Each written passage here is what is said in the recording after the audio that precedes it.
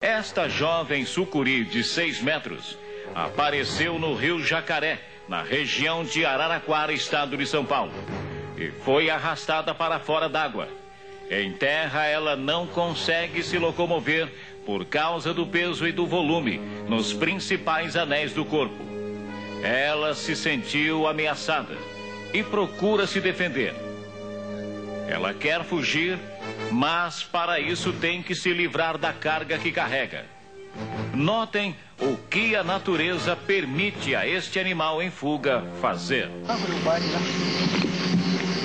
Quer ir embora agora? Tá Vai na frente, Bert, chama ela aí. Joga água nela.